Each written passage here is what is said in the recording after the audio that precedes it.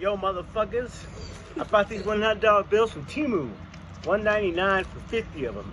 Look at this shit, man. This fucking looks real. And then you see the back, though. It says something like that. which you could scratch. Oh, I mean, no, no. No bad, no like a thing. Yes, check it out from Temu, motherfuckers.